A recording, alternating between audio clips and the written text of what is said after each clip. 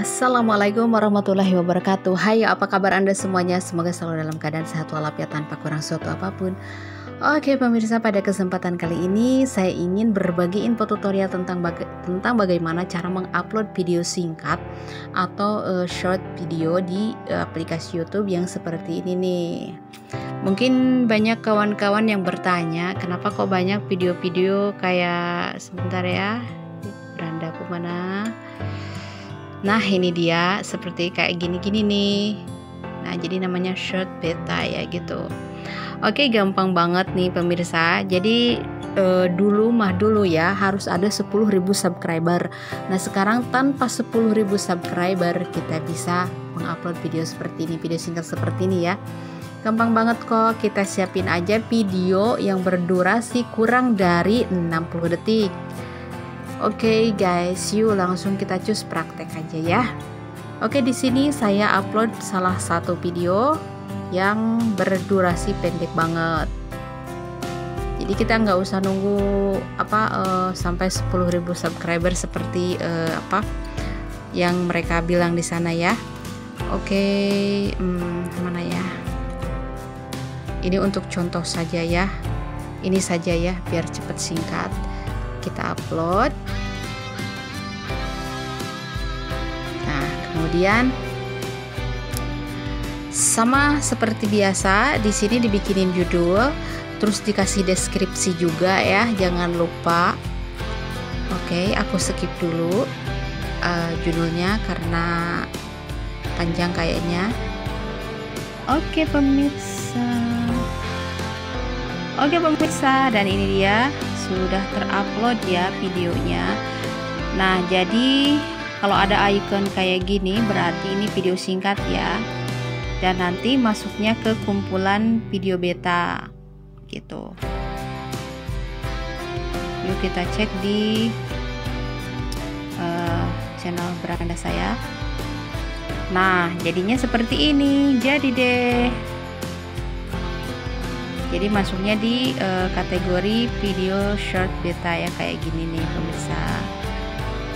Nah, padahal kan ini video baru saya upload ya tapi kenapa tidak ada di urutan pertama di sini? Karena ini adalah termasuk kategori video singkat jadi adanya di bawah. Dan nanti di layar beranda orang lain itu tampilnya sama seperti ini ya. Oke jadi gampang banget. Dan satu lagi wajib pasang deskripsi juga judul juga. Yuk kita pasang deskripsi.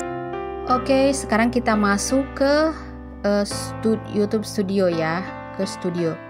Oke di sini kita atur aja judul maupun deskripsi dan kita aktifkan iklannya ya. Sama seperti video biasa ya. Kita setel dulu ininya publik ya udah di publik. Terus kita aktifkan dulu monetasinya monetasi monetisasinya. Nah semua dicentang ya. Oke kemudian kita setel lanjut lagi semua aktif ya. Dan simpan aja. Masih ada ada yang kurang? Kita uh, bikin deskripsi. Di deskripsi ini jangan lupa uh, cantumin tag kayak gini.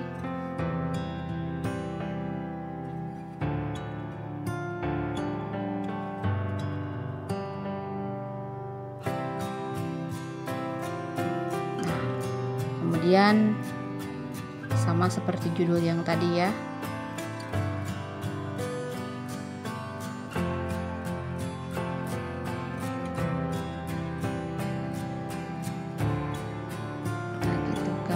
seterusnya seterusnya gitu.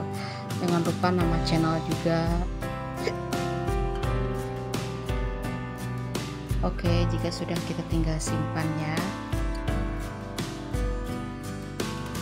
Nah ini masih ditinjau dolarnya masih uh, hitam biru nanti hijau ya berubah.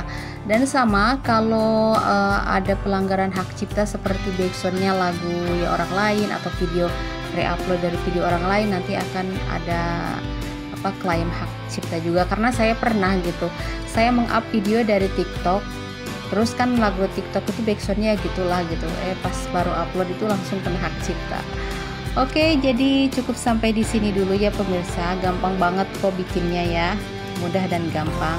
Selamat mencoba dan mohon maaf jika ada salah-salah kata dalam cara penyampaiannya. Salam sukses selalu. Bye bye.